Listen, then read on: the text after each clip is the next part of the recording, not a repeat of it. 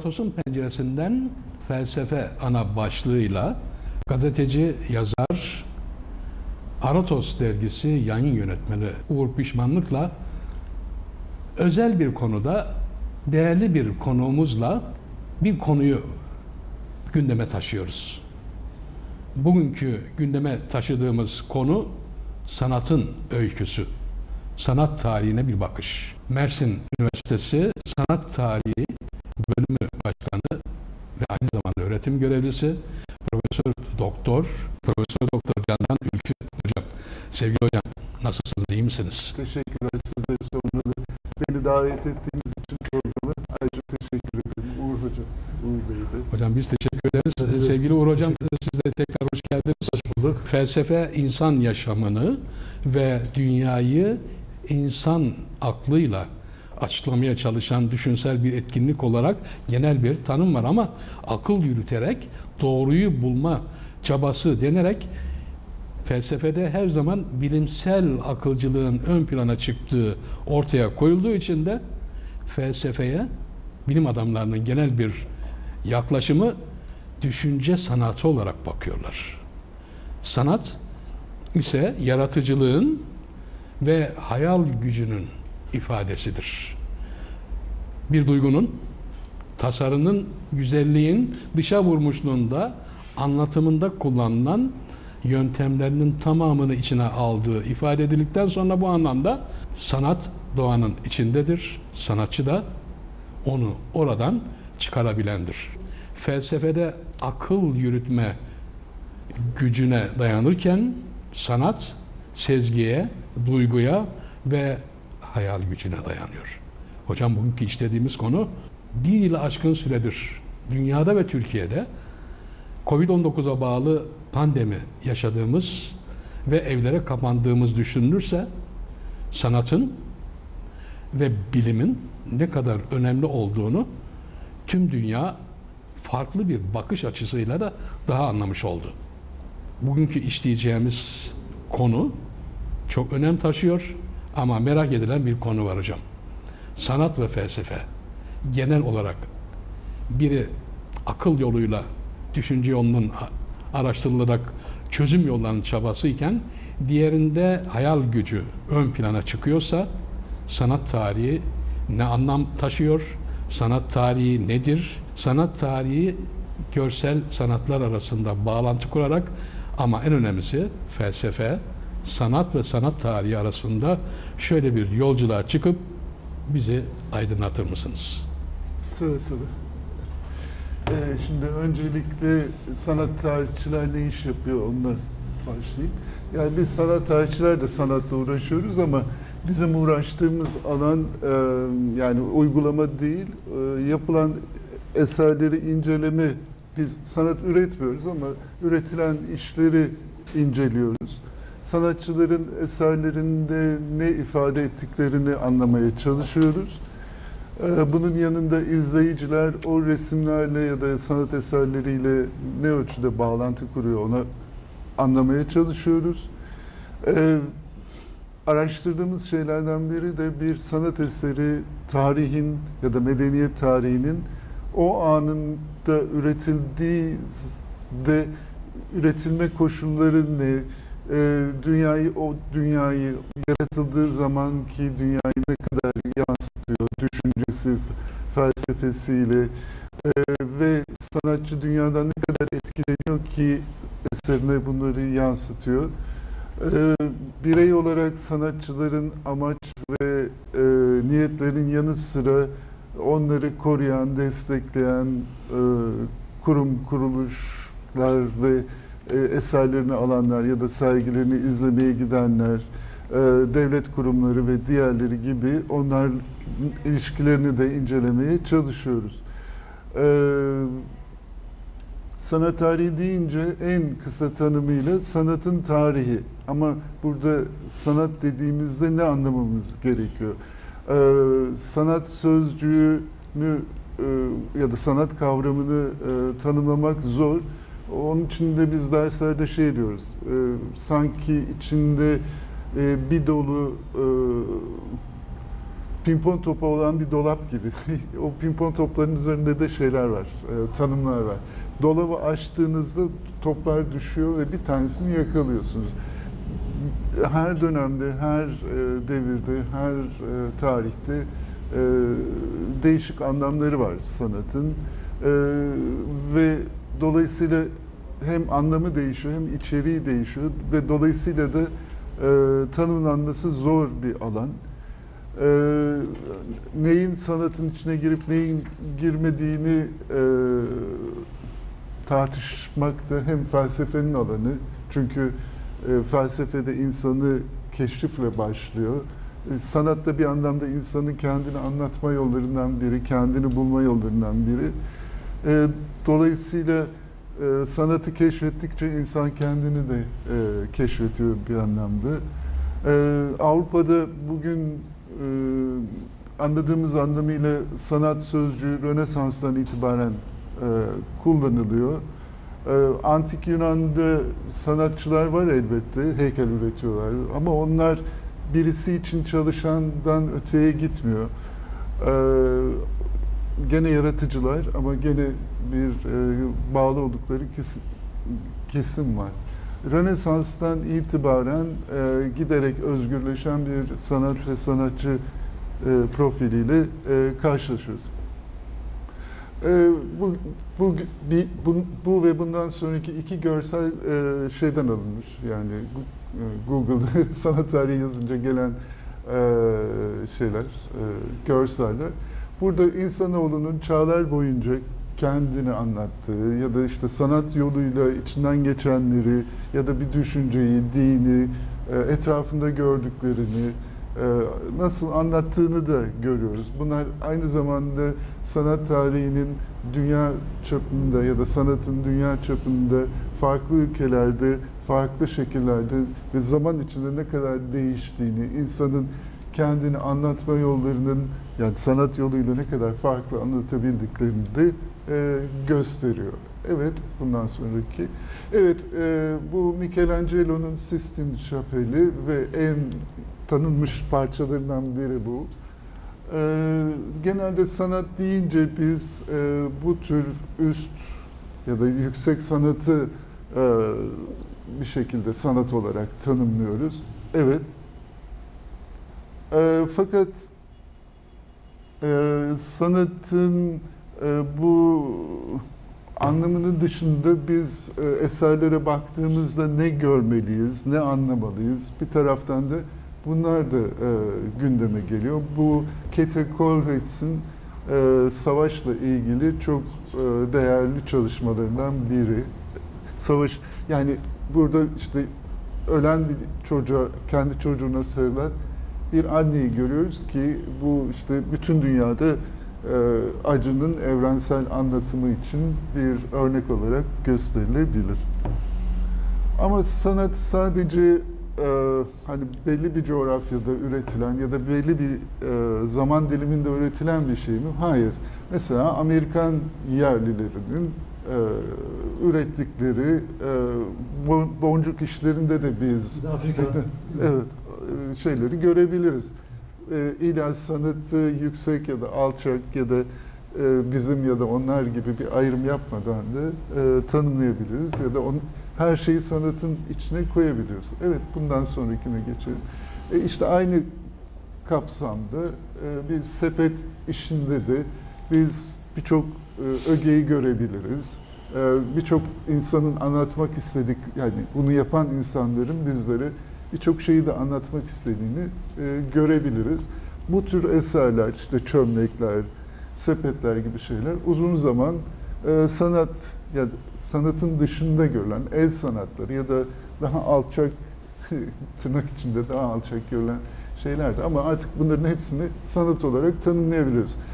E, bu e, çok güncel işlerden biri.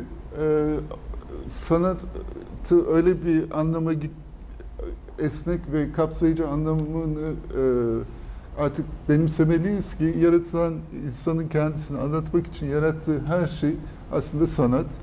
E, ve sanatçıların yaptığı şeyler e, kimi zaman toplumda da tepkiyle de karşı. Bunu ben de yaparım.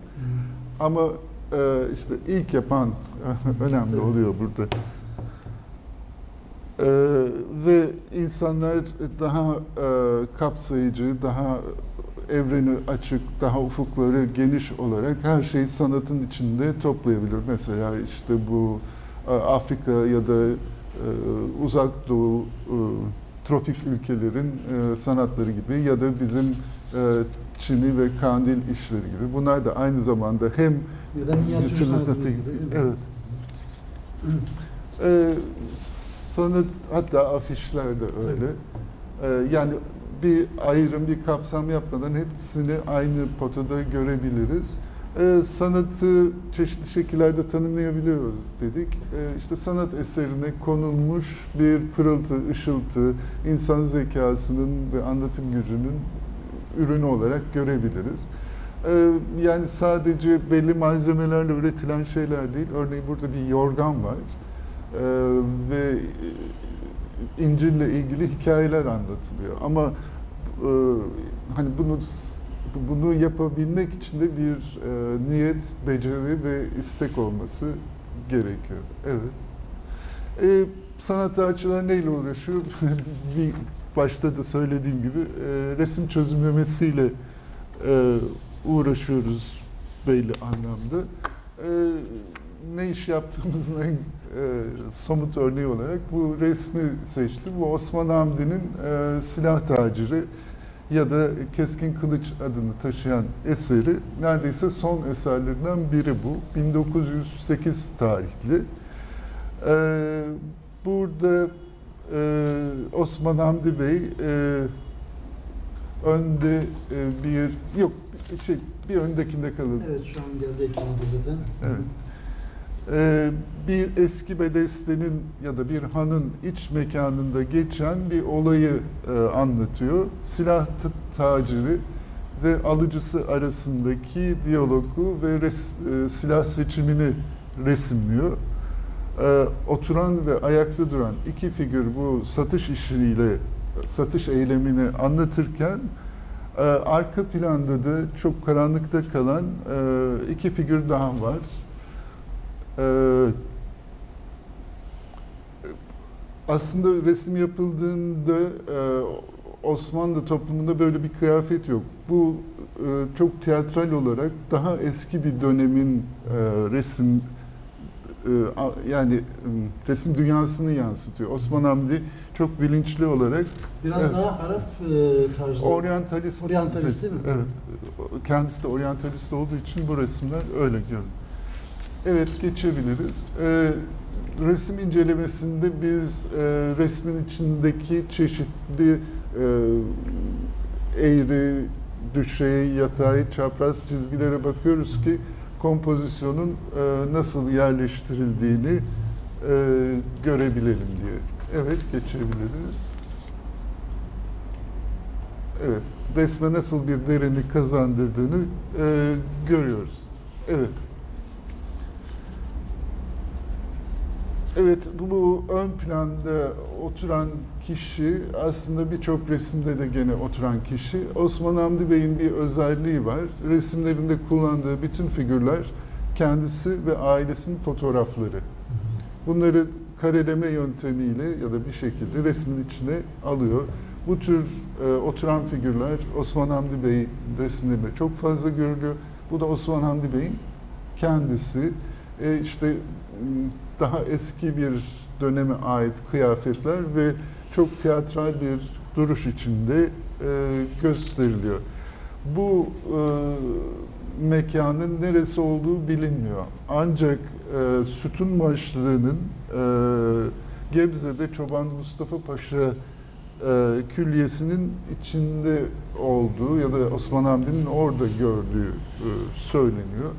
Bu işte miğferler, siyah tacının e, sattığı miğferler 17. e, yüzyıla ait örnekler. Tüfekler 18. yüzyıla, e, kılıçlar da 17. yani figürün elinde tutan kılıç da 17. e, yüzyıla ait. Devam edelim. E, dediğim gibi Osman Hamdi Bey çeşitli şekillerde oturan figürler yapıyor. Buradaki resimdeki birçok figürde gene kendisi eski kıyafetleri giyiyor. Fotoğraf çekiliyor. O fotoğrafları bir şekilde resimde renklendirerek kendisi işliyor. Evet. Ee, Osman Hamdi Bey'in e, bu resmin önünde çekilmiş bir e, fotoğrafı var. E, fakat bu resmin Londra'da olduğu söyleniyor. Bizim biraz önceden beri devam ettiğimiz e, resim ise Ankara'da Devlet Resim Heykel Müzesi'nde. Dolayısıyla Osman Hamdi'nin birçok resminde olduğu gibi aynı örnekten iki tane de e, yapılmış olabilir. İki resim olmuş olabilir. E, evet geçelim. Evet, Osman Hamdi Bey burada işte baba oğul Evet hocam. arasındaki ilişkiyi, işte tiyatrali, oryantalist bir dünyayı e, bize gösteriyor olabilir. E, işte biz bu tür şeylerle uğraşıyoruz. Bizim araştırma alanlarımız bunlar. Uğur hocama, Uğur pişmanlığa dönmek istiyorum. Hocam size her gördüğüm zaman size bir teşekkürle başlamak geçiyor içimden. Çünkü felsefeyi ön plana çıkararak hepimize konunun tanıtımını yapmaya özen gösteriyorsunuz. Tamamen kendi özel çabalarınızı ön plana koyarken hiçbir maddi beklenti yapmaksızın yapıyorsunuz. Övgüye değer bir davranış biçimi. 2004 yılında başlayıp halihazırda devam eden ve şu anda da önünüzde görüyorum. Evet 103. sayı dergiyi de yayınladınız. Hem önünüzdeki mevcut olan dergiler ve kitaplar ve bir aylık bir dönemdeki faaliyetlerinizi kısaca anlatır mısınız sevgili hocam? Evet, öncelikle e, İçel TV e, ve Asan TV izleyicilerine diyelim. Buradan merhaba diyelim. Aratos'tan merhaba. Geçen programımızda e, çok fazla hani şey olmadı. Birkaç da yayınımız da vardı. E, biz bu arada yeni şeyler de ürettik, çalıştık. E, ben tabii bu arada öncelikle e, Candan Ülke Hocama da e, teşekkür ediyorum. E, burada kendisiyle birlikte güzel, keyifli bir program yapmak için birlikteyiz. E, Ee, evet, Aratos dergisi e, 18. yılın ortalarına doğru geldi ve e, 103. sayıyı çıkarttık. Geçen 102. sayı yayınlanmıştı. Ee, bugün öğlenleyin birkaç saat önce yani buraya gelmeden önce yeni sayımız geldi. 103. sayı. 103. sayıda da çok güzel konularımız var ama kapak konusu da e, doğumunun 200. yılında Friedrich Engels ile ilgili bir yazı olduğu için e, Engels'in yani işçi sınıfının kurtuluşu için mücadele eden Marx'ın çalışma arkadaşı hatta Marx'ı Marx'ı öne çıkartıp e, o birinci kemancı ben ikinci kemancıyım diyen böyle mütevazi bir e, düşünürün e, fotoğrafını koyduk e, Engels'i anmak için. E, bunun dışında evet kitaplarımız var. E, şimdi biz e, Cahit Orhan Tütengil Profesör Cahit Orhan Tütengil ile ilgili bir sosyoloji araştırmaları sempozyumu başlatmıştık. E, ikincisini yaptık. Birincisi basın sosyolojisiydi, kitaplaştırdık. İkincisi kent sosyolojisi ve kent tarihleri başlığını taşıyordu. E, geçen yıl bildirileri, sunulan bildirileri de kitaplaştırdık. Böylelikle bir kent sosyolojisi ve kent tarihleri kitabımız da oldu. E, burada pek çok değişik üniversitelerden akademisyenlerin bildirileri var. Ee, bizim Aratos olarak yayınladığımız kitapların sayısı 50'yi geçti. Geçen ay itibariyle 50'yi geçti. Ee, bunların içerisinde bir de edebiyatımız serisi var bizim. Edebiyatımızda çeşmeler, edebiyatımızda radyolar, edebiyatta Tarsus gibi. Ee, geçtiğimiz haftalarda edebiyatımız, edebiyatımızda bisiklet. Biliyorsunuz bisiklet yani hani kimisi için e, şeytan aletidir, kimisi için e, oturgaçlı yürük, yürütke, yürükeç, yürükeçtir. E, dolayısıyla biz edebiyatımızda bisikletle ilgili bir çalışma yaptık. Burada da e, romanlarda, öykülerde, edebi metinlerde yer alan e, bisikletle ilgili yazıları derledik. E, böyle bir çalışmamız var. E, ya Tarsus tabi antik çağdan bu yana 10 bin yıllık geçmiş olan bir kent ama bir de kentin e, yakın yüzyıllarda yani işte bir 18. 19. yüzyıl, 20. yüzyıl gibi yakın zamanlarda kent tarihinin önemli dokusunu oluşturan bir eski evler var. Tarihi evler var. Günümüz- günümüze kadar ulaşmış evler. Bunlar en az şu an Tarsus'ta 4-5 mahalleden oluşuyor. Ee, tabii bu evlerle ilgili mimarlar çalışıyor, şehir plancılar çalışıyor, arkeologlar çalışıyor, sanat tarihçileri çalışıyor, e, tarih araştırmacıları çalışıyor. E, fakat bunlarla ilgili yayınlanmış e, yani hem öğrenciye, yüksek lisans yapana, doktora tezi çalışana dönük şeyler yok. E, ellerinde veriler yok. E, materyaller yok. Kaynak yok dolayısıyla. E, hem nostaljik yazıları, Tarsus'un tarihi evleriyle ilgili, eski ev evleriyle ilgili e, hem nostaljik yazıları hem de bilimsel ve akademik çalışmaları, teknik çalışmaları, mimari çalışmaları bir araya getirdiğimiz bir kitap yayınladık. E, geleneksel Tarsus evleri. Ki e, yani Tarsus'a yerli ge- gelen yerli yabancı turistlerin önemli bir kısmı e, fırsat buldukça işte kenti gezerken bu tarihi doku içerisine geliyorlar. Buradaki kafelerde oturup soluklanıp dinleniyorlar. E, fotoğraflar çekiliyorlar ya da çektiriyorlar. E, böylelikle bunlar içerisinde akademisyen hocalarımız var. Mimarlık Fakültesinden, şehir plancılığı bölümünden arkeolog olan arkadaşlarımız, sanat tarihçileri var, mimarlar var. E, ve yazarlar var, edebiyatçılar. Böylelikle geleneksel Tarsus evlerimiz e, Tarsus'un tarihine, kültürüne kazandırmış olduk. E, yeni çıkan bir kitabım var benim. Tarih içinde bir başkent Tarsus. E, tarih içinde bir başkent Tarsus'ta antik çağdan başlayıp e, neredeyse günümüze kadar kentin damak tadından tutun, e, tarihsel dokusu, arkeolojik yapısı, e, kentin yetiştirdiği kimi önemli değerler e, olmak üzere e, pek çok konu oraya konuyu alan e, makaleler. Tarsus'un Saat Kulesi de var burada. E, Tarsus istasyonu da var. E, Tarsus'un türkücüleri, gazelhanları, e, ozanları da var. Tarsus'un destancıları da var. E, bu çalışmada Tarsus'a bir e, Tarsus'un yakın tarihi, antik çağ anlamında bir kent belleğine katkı olarak çıktı. E, son olarak da şunu söyleyeyim.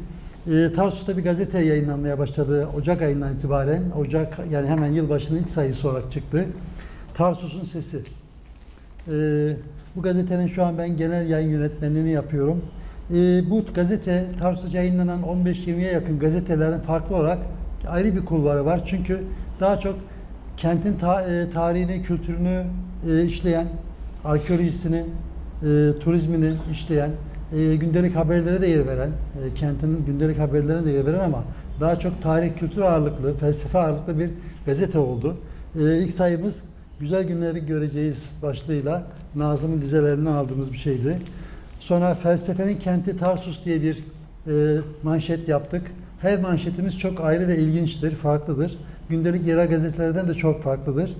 E, burada da Tarsus'un hem felsefe tarihini, hem filozoflarını, hem de bu kentin bir şalgam kenti, rakı kenti, e, kebap kenti olmadığını, daha çok bir felsefe kenti olarak öne çıkması gerektiğini e, vurgula- vurgulamaya çalıştık. Bir başka sayımızda e, Tarsus'un turizm sınavı, Tarsus'un turizmde sınavını yazdık.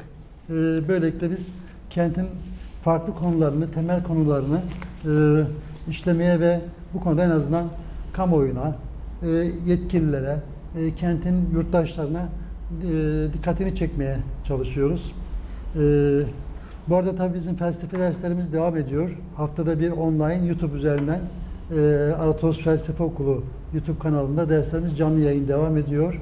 E, işte burada sizinle birlikte ayda bir kez birlikte program yapıyoruz. E, kitaplarımızın yayınlamaya devam ediyor.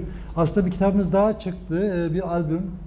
Ta, e, şu an Brüksel'de yaşıyor ama e, neredeyse 20 yılı- yıla yakın zamandır gemilerde aşçılık yapan Tarsuslu bir karikatürcü arkadaşımız var. E, ödülleri de olan bir arkadaşımız. Biz onun e, karikatürlerini derledik. Bir albüm yaptık. Çizgili Dünya diye. Aratos yayınlarından bir de bir karikatür albümü çıktı. E, bunun dışında yeni bir kitap daha geliyor. O da e, Tarsus'ta e, Profesör Levent Zoroğlu ile beraber e, antik yolun kazısında çalışmış Levent Hoca ile birlikte ve onun kazı saha sorumlusu olan arkeolog Hüseyin adı belli. Aratos'ta yayınlanan ya- ya- makalelerin derlediği e, Ölümsüz Bir Kent Tarsus diye bir kitap e, yayınlanıyor. Belki gelecek sayıda muhtemelen birlikte olduğumuzda e, birkaç kitapla daha geleceğiz e, diye düşünüyorum.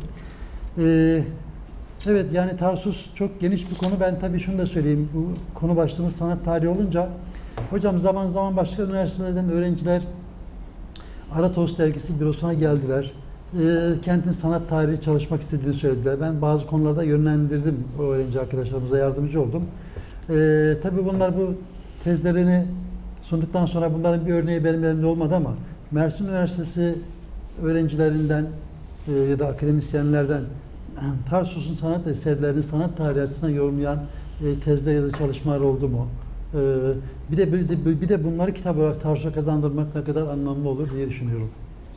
Elbette iyi bir çaba olur Hı. e, öncelikle. Ancak henüz e, biz e, şey yani o aşamada değiliz. Ama e, başka üniversitelerde yapılmış e, Tarsus'la ilgili, Tarsus'un sanat tarihi, mimarisi, geçmişiyle ilgili birçok tez var. Belki onlar Derlenebilir diyorsunuz. derlenebilir.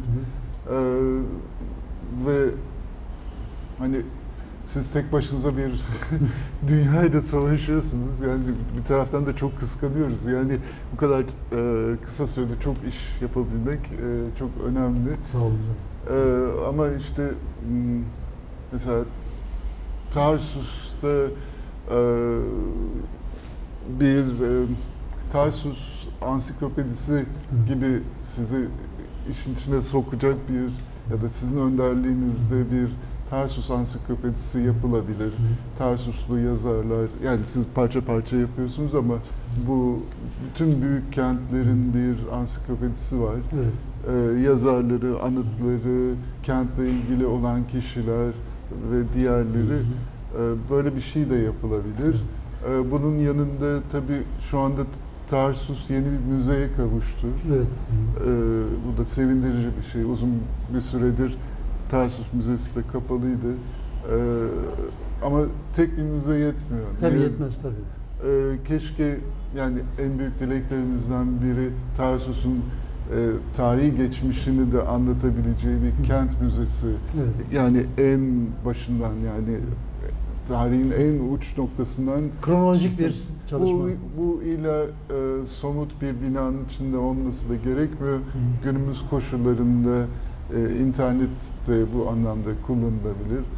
E, bunun yanında e, Tarsus'un Türk İslam dönemiyle ilgili bir e, vakıf müzesi, bir hat müzesi, bir halı müzesi gibi Tarsus'a daha anlam kazandıracak. Yani Tarsus'un Türk İslam dönemi geçmişini de unutmayacak ama yani kenti de bir şey kazandıracak. Ama bunun yanında da e, Tarsus'a bir e, resim müzesi gibi yani günümüzün çağdaş işleri de sanat eserlerinin de sergilenebileceği bir e, müze yapılabilir. E, bunlar hep iyi niyet dilekleri olarak kabul edin. Evet. Yani bunlar tabii e, sizin gibi böyle hani cengaverce ortaya atılıp e, arkasında durulup yapılacak işler. Bunlar e, hani dediğim gibi e, benim hep aklımdan geçen ama yapılamıyor. Sevgili Hocam, hocam, e, buyurun. Şimdi e, hocam çok güzel bir şey söyledi. Şimdi bazı şeyleri ben bekletiyorum. Hani yeri ve zamanı gelince heybeden çıkartıyoruz. Evet. Hani taşı gecene koyuyoruz ya da ne bileyim sözümüzü söylüyoruz. E, hocam çok güzel bir şey söyledi. E, Tarsus Ansiklopedisi dedi. Şimdi ben 2000 neredeyse e, Aratus çıkarttığımız e, 2004 yılı, 2006 yılından bu yana Tarsus Ansiklopedisi için malzeme topluyor.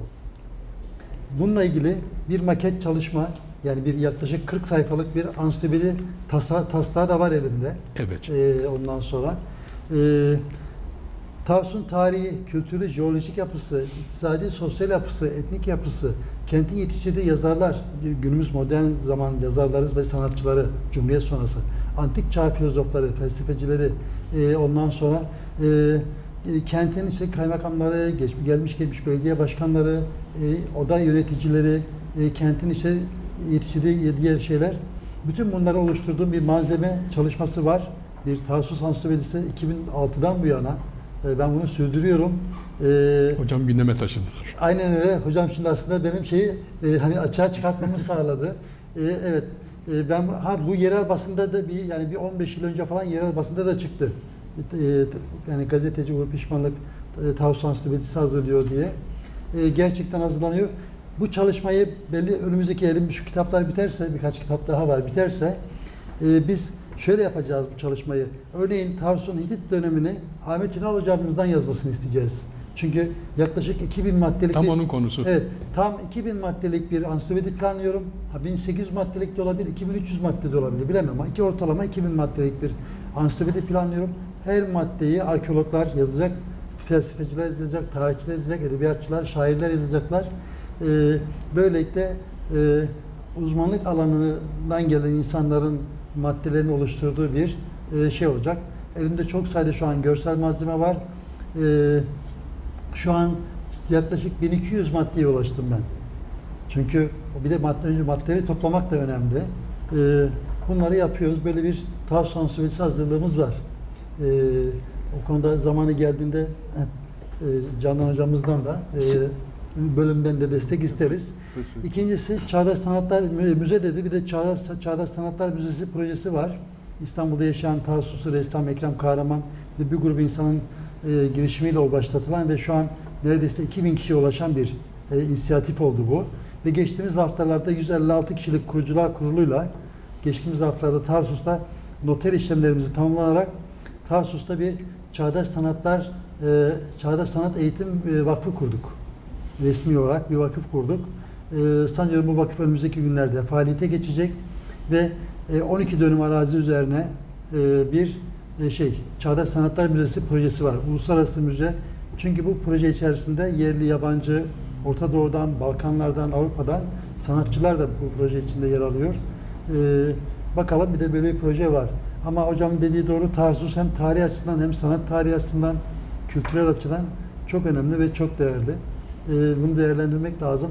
Ki ben istedim o söz konusu bir tezler ve ödevler ne varsa onlardan yola çıkarak bir sanat tarihi gibi bir şey e, yapmak isteriz. Çünkü e, neredeyse 20 yıldan yıldan fazla zamandır e, pek çok üniversiteden hocalar, mimarlıktan, şehir plancılığından, arkeolojiden e, öğrencilerini bana yönlendiriyorlar. E, o konuda ben kaynak sağlamaya çalışıyorum, yardımcı olmaya çalışıyorum. Elimizde ne kadar çok kaynak olursa o kadar çok katkımız olur. Hocam, yaklaşık 3 ay önce hocamın konuşmacı konuk olduğu Hı. Portakalla ilgili portakal üzerine bir güzelleme hem de sanat tarihi açısından bakış açısı ve onun değerlendirmesi benim gerçekten dikkatimi çekmişti. Hemen sözlerimizin başında felsefeyle sanat ve sanat tarihi arasında da ve sanat arasında da çok özel bağlantıların olduğu birisi akla hizmet ederken diğeri de duygu ve hayaller üzerinden hareket ederek birbirini tamamladığını ifade etmiştik. Siz zaten bunun çok güzel örneğini portakal üzerine güzelleme. Sevgili hocam bu fikir nasıl oluştu? Sanat tarihinde portakal üzerine güzellemeler olduğuna göre biz Tarsus'u tarihi geçmişi çok özel olan bir şehir, bir kent, bir başkent, bir bilim kenti dünyanın kabul ettiği. E, Mersin ve çevresinde de çok önemli tarihi yapıları beraberinde görüyoruz. Siz üniversite olarak da ve bölüm olarak da bunun üzerine ciddi araştırmalarınızın da olduğunu biliyoruz. Hem konuya sanat tarihinin görselliği açısından baktığımız zaman görsel sanatlarla ilgili bağlantı kurarak hem Tarsus'u hem sözünü etmiş olduğumuz ve sizin de sunumunuzu yapmış olduğunuz portakal üzerine bir güzelleme üzerine ne dersiniz? Neleri paylaşırsınız? Şimdi portakal bu kent, daha doğrusu portakal Akdeniz yöresindeki birçok kent için çok özel bir meyve.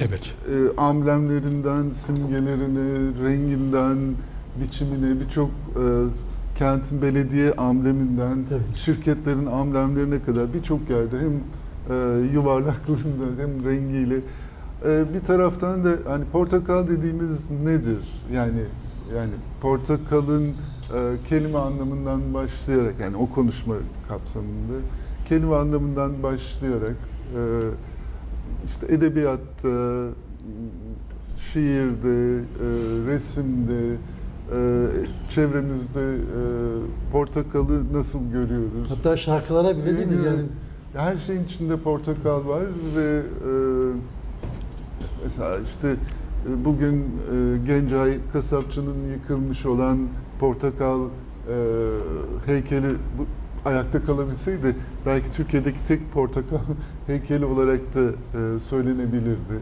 Birçok resimde, minyatürde, duvar resminde, e, Natürmortlarda. de- her yerde portakal var. E, tabii bir taraftan da bu bölgede yetiştirilmesiyle ilgili yani yetiştiricilik tarihi açısından da e, önemli. Atatürk bu kente geldiğinde bir iki defa e, şehrin kuzeyinde bir portakal bahçesine gidip oradan dalından portakal kopardığı biliniyor. Hatta fotoğrafları da var. E, dolayısıyla kentin hem tarım tarihi açısından hem kent tarihi açısından hem görsellik açısından e, önemli bir yere sahip portakal. kenti simgeleyen öyle bir Ama- öge olarak değil mi? Ama bugün portakalı ne yazık ki e, şey yapamıyoruz. Bakın bu bulunduğumuz binanın etrafı, çevresi portakal bahçesiydi. E, ve inanılmaz bir şekilde biz portakal bahçelerini yok ederek ke- e, betonlaştırıyoruz ve kente dönüşüyor. Bir değişim ve dönüşüm yaşıyoruz ve e, portakal sadece e, giderek manavda olan bir şey haline geliyor. Halbuki hep biliyoruz ki bahçelerde, yollarda, etrafta e, portakal ağaçları vardı ve hele, hele bu mevsimde e, çiçekleri açtığında bu kenti ya da işte portakal yetiştirilen her yeri e, özel bir e, kokusuyla da kendini belli eden yani sadece rengiyle, ağacın yaprağıyla değil. E, sadece biz portakal diyoruz ama portakalın ait olduğu narenciye olarak da e, bugün birçok e, refüje orta yolların ortasına birçok yere turunç ağacı dikiliyor ama bunlar e, kullanılmıyor yani sadece dekor olarak orada var ve e, hani düşüyor, dökülüyor, eziliyor. Bir taraftan da hani insanın da içi acıyor. E, Bunu da söyleyeyim. Öbür taraftan hani biz portakal için ne yapabiliriz? Yani e, portakalın varlığını daha bu kent daha yani anlamı ve gelişmesi için, geleceği için daha ne yapılabilir? Çünkü giderek e, portakal dediğim gibi betonlaşan kentte daha e, yok olan bir öge haline de geliyor. Ee, işte o anlamda biraz portakala dikkat çekmek. Ee, pek felsefe e, okulu anlamında yani daha çok felsefi konular konuşuluyordu ama ben de hani böyle bir e, güzelleme yaparak yani güncel ya da günlük yaşamın e, içinde bir ögenin de önemli olabileceği, onun da e, kültürel olarak e, bir anlamı olabileceği. İlk kez mi gündeme taşıdınız bu konuyu Yok. bu anlamda? Yok, 2000'lerin başında, 2004 ve Evet. 2003'te İstanbul'da meyve ile ilgili e, genel bir sempozyum vardı. İlk orada e, gündeme ge- geldi. Yani oraya götürmüştüm. Ama e, Uğur, Uğur Bey benden bir şey isteyince tekrar hani bir elden geçirip yenileyip güncelleyip Ben- Bence güzel, keyifli bir şeydi. Hocam e, Tarsus'un tarihi geçmişi 10 binli yıllarla ifade ediliyor. Mersin ondan da çok geri kalır tarafı yok. Sadece Yumuktepe'nin 7 bin yıllık geçmişinden hatta daha e, yerlere giden tarihten bahsediliyor. Kent müzeleri. Mersin bu konuda çok fakir. Kent müzesi anlamında neler yapılabilir de e, paylaşabilir misiniz? Buyurun Uğur Ben Bey. küçük evet bir örnek vereyim. Ee, yani bundan neredeyse 10 yıl ve öncesinde Profesör İlter hocamız, Diş Hekimliği Fakültesi dekanıyken Güzel, evet. İlter Hocal hocamız e, e, tıp aletleri biriktirdiğini ve bir tıp tarihi müzesi yapmak istediğini söyledi. E, antik çağda yaşamış eczacı hekim Dioskorides'in hocası e, eczacı hekim Arius e, Tarsus'ta olduğu için e, bu müzeyi Tarsus'ta yapmak istiyorum dedi. Biz o zaman Burhanettin Kocamaz dönemiydi. Biz bir, bir, bir takım girişimlerde bulunmaya çalıştık. E, bir sonuç alamadık. Yani Tarsus'a evet Tarsus'ta tabii ki Tarsus, Mersin belli tarihi kentler var. O kentlerde bir müze yetmez. iki müze, üç müze daha fazla olabilir. Bazı yerler vardır Avrupa'da, Batı'da müzeler kentidir. Yani e, dolayısıyla da e, bir Tarsus'a bir tıp tarihi müzesi kazandırmak istedik. Sonuç alamadık. Daha yakın bir zamanda e, Nur, Nur- Nurlu Hanım, Nurlu Erkan diye bir hanım var.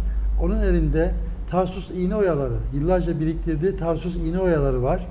Biz o Tarsus iğne oyalarını e, Nurlu Hanım Tarsus'a bir müze olsun istedi. Biz bu konuda şimdiki mevcut belediye başkanı Haluk Bey'e de, Haluk Başkan'a da ilettik.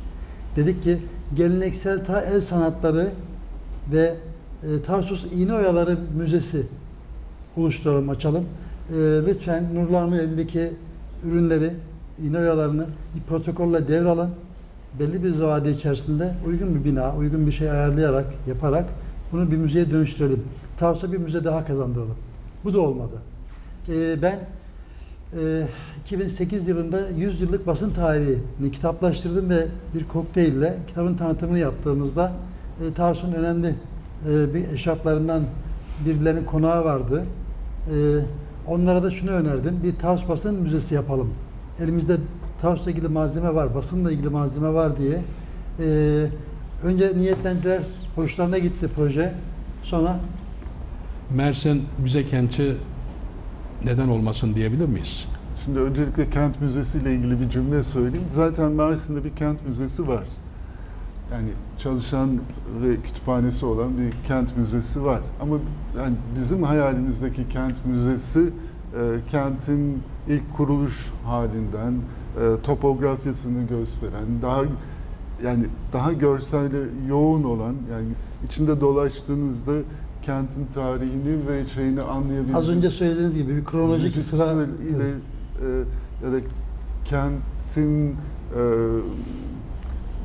gastronomisiyle, el sanatlarıyla, üretimiyle e, içinde yer alabileceği, Folklorik unsurlarıyla, evet. içinde yer alabileceği daha kapsamlı bir şey e, hayal ediyoruz. Yani biz benim hayalim o. Şimdi Mersin'e gelin, Mersin'de müzelere gelince Mersin'de şu anda dört müze var. Yani Tarsus, Mersin, e, Silifke ve Anamur'da. Anamur Müzesi ne yazık ki kapalı. E, şey o müzenin fiziki koşulları şey çok uygun değil. E, dolayısıyla orası çalışmıyor şu anda. Ancak Mersin ve Tarsus yeni iki müzeye kavuştu yani müze binası olarak. Tabii e, Mersin'de var olan güzel sanatlarla ilgili müzenin tekrar açılmasını da bekliyoruz.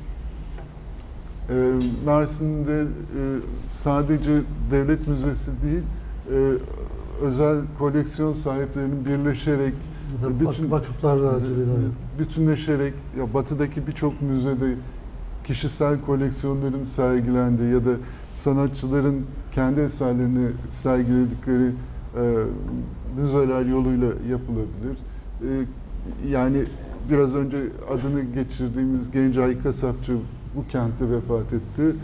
E, onunla ilgili de yapılabilir ya da e, kentin e, önemli ressamlarından ya da kentle ilgili Mersin deyince akla gelen Ahmet Yeşil ya da Doğan Akça gibi yani Mersinli olan ya da Mersin'de üretim yapan Tarsus'ta da vardır eminim o tür. Ee, Onların eserlerinin görülebileceği yani onların açısından kentin görülebileceği e, müzeler de yapılabilir. Bunun dışında e, işte bu kent e,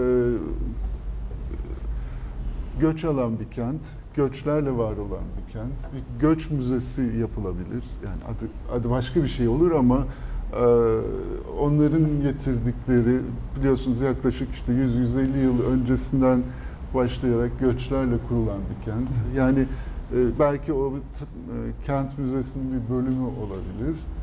E, bunun dışında tabii eğitimle ilgili şeyler yapılabilir. Ee, İla dediğim gibi çok sabit, büyük yatırımlarla yapılması da bunların belli anlamda ya da ilk etapta bunlar e, internet üzerinden başlayarak sanal müze haline başlayarak daha sonra somut hale de e, geçirilir. E, e, işte sahip olduğu mesela Denizcilik Müzesi'nin yanında işte denizle ilgili, deniz ticaretiyle ilgili bir takım yeni e, fikirleri de sahip olabilir. Yani Mersin özel bir kent, mesela operası olan e, kentlerden biri e, ve önemli bir müzik e, festivalini ev sahipliği yapan bir kent. E, dolayısıyla hani nasıl Tarsus ansiklopedisi gibi bir şey varsa Mersin için de yapılabilir. Çünkü önemli yazarlar, şairler, müzisyenlerin olduğu bir e, kent. Bu kültür, bu iklim e, birçok e, önemli kültür adamını, ressamı, müzisyeni yetiştiren bir kent. Derler ya hayal bilgiden, rüyalar gerçeklerden daha güçlüdür. Yıldızlara uzanın belki ulaşamayız ama inanın yükselirsiniz derler. Biz de hayal edelim. Hayallerimiz gerçek olsun diyelim. Ne hayal edersiniz? İşlediğimiz ve özellikle sanat ve sanat tarihi konusunda ve felsefeyle ve bunlarla bağlantılı neler söyler ve neler hayal edersiniz sevgili Ben hocam? öncelikle ben e, bu müzeler, şimdi kütüphane kurmak için kütüphaneler genel müdürlüğüne başvurmanız gerekmiyor. Yani herhalde 1000, 2000, 5000 kitabı toplayıp da bir kütüphane açabilir, oluşturabilirsiniz. Ama özel müze olduğunda e, müzeler genel müdürlüğüne başvurmak gerekiyor ve çok ciddi ve ağır yaptırımları var, ağır bir bürokrasisi var ve sıkıntı. Yani bunu ancak müze meselesine e, ancak belediyeler, kaymakamlıklar, yani resmi kurumlar ya da güçlü vakıflar üzerinden çözmek gerekiyor. Ee, yoksa hani e, müze açacağım deyip bir de müze açamıyorsunuz. Bu bir. Böyle bir sıkıntı var. Benim elimde örneğin çok değerli çalışmalar var, ürünler var. Ben bunları bir kent müzesine bağışlamak isterim. Böyle bir müze yok bir. İki, belediye bir kent müzesi açtı diyelim. Ben bunu bağışladığımda bir sonraki seçimleri kaybettiğinde yönetim bir sonraki gelen bütün bunları kaldırıp çöpe atıp kendi anlayışına uygun şeyler koyabiliyor. Hatta müzeyi kaldırıyor. Diyor ki müzeye gerek yok. Burası boş kimse gelip gitmiyor zaten. Burayı başka bir şey yapalım diyor. Size örnek vereyim. Ee, belki ilerideki bir programda konuşacağız. Arslan İyice çocuklara matematik, kimya, fizik, Rahmetli. e, tabii Evet. e, Türkçe, İngilizce dersi vermek için bir yer belediyenin binası altında bir, o zamanki belediye başkanı diyor ki burayı Aslan amca, Aslan Bey al, çocuk e, istediğini yap. O da bilgisayar getiriyor. Yurt dışından birisinin bağışları Taşucu'da yaşayan birisi 20-25 bilgisayar bağışlıyor. Gönüllü hocalar var. Çocuklara matematik, İngilizce, Türkçe, kimya, coğrafya dersi veriliyor. Bir yandan da bilgisayar öğretiliyor. Bir süre bunları Aslan Ece Vakfı üzerinden bu binada yapıyor. Belediyenin bu binasında. Sonra seçim geliyor. Belediye başkanı değişiyor. Belediye başkanı Aslan Ece'nin bu e, eğitim verdiği kurs binasının bütün malzemelerini de bütün sıralarını her şeyini dışarıya attırıyor. Polis zoruyla. Orayı cenaze yıkama kursu yaptırıyor. Şimdi düşünün bir kent müzesi var. Bir sürü şey bağışlamışsınız. Bir sonraki gelen başkan diyor ki buna gerek yok atın bunları. Burayı biz Kur'an kursu yapacağız. E, cenaze yıkama kursu yapacağız falan. Ne oldu? Bitti. Yani e, o yüzden e, müzelerle ilgili statünün biraz esnetilmesi lazım diye düşünüyorum. İkincisi tabii ki e, sanat, sanatın bir dili var. Sanat da bir anlatım dili, felsefe gibi. E, sanatın bir felsefesi de var.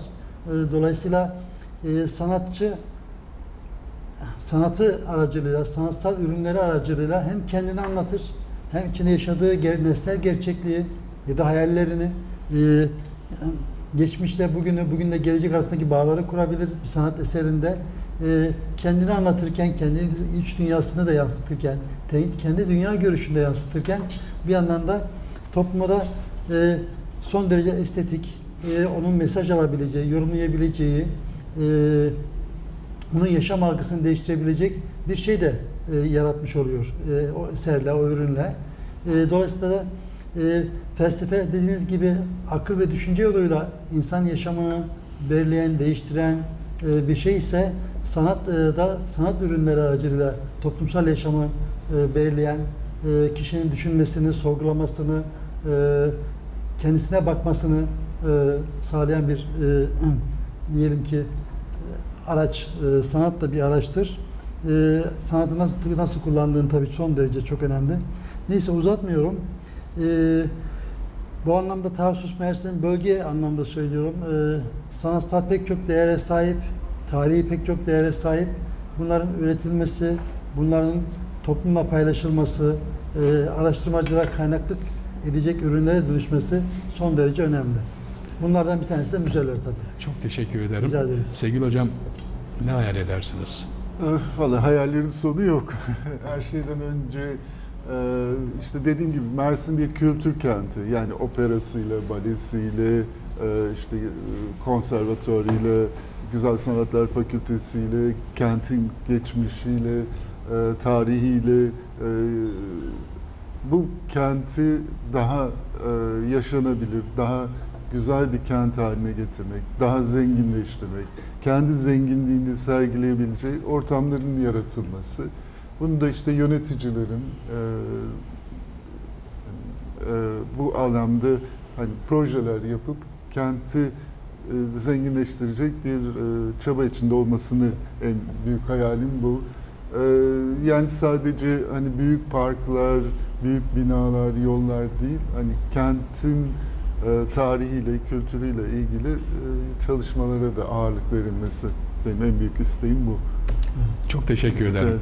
Bir ülkede para ve servete değer veriliyorsa bilin ki orada keseler şişmiş, kafalar boşalmıştır. Unutmayalım. Sanat kin ve nefreti sevgiye dönüştürür. 2022'nin Aratos yılı olmasını dilerim. İyi akşamlar efendim.